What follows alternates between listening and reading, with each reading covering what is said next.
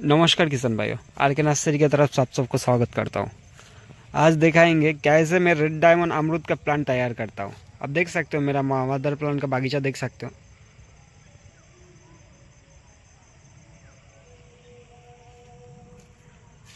एक प्लान आपको देखा रहा हूँ।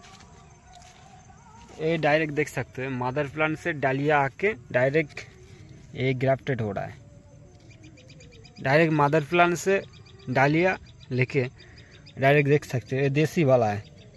देसी वाला से भी ग्राफ्टेड करके मैं ग्राफ्टेड किया हूँ। सभी प्लांट में देख सकते हो। एक ही तरीका से ग्राफ्टेड चल रहा है। जितना भी प्लांट देख सकते हो।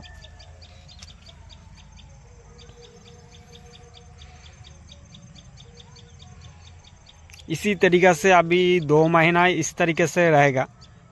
रह जाने के बाद, पूरा मैच्योर हो जाने के बाद भी हम एक दो महीना ग्रीन हाउस के अंदर रखता हूँ।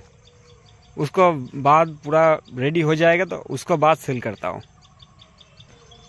रेड डायमंड जो नहीं जानते उसको बारे में बोल रहा हूँ, उसका पाता सबसे अलग होता है।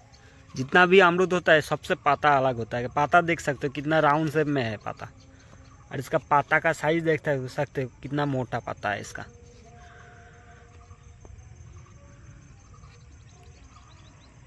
सभी पाता देख सकते हो। कितना बड़ा पाता और कितना कितना राउंड शेप में है पाता।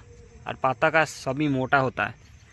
और रेड डायमंड का खासियत होता है, ये अंदर पूरा रेड होता है और सीडलेस होता है। और साइज़ में भी बहुत बड़ा रहता है वीएनआर जैसा बड़ा होता है।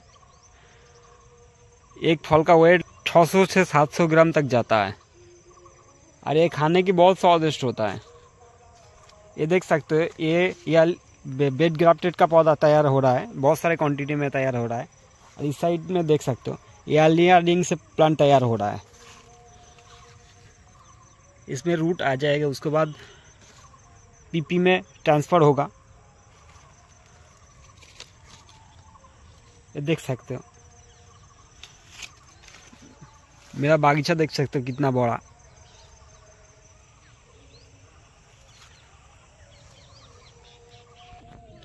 ये देखिए, इसका आपको दो महीना हो गया। ये देखिए पूरा, इसका ग्राफ्टेड पूरा जॉइन लग गया। ये हम और कुछ दिन बाद कटाई करेंगे।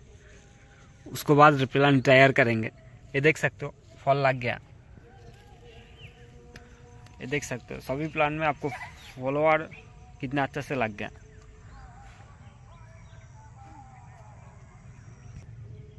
ऐसा जेनुइन ओरिजिनल प्लान लेने के लिए मेरे नर्सरी का कॉन्टैक्ट नंबर पर संपर्क कर सकते हो।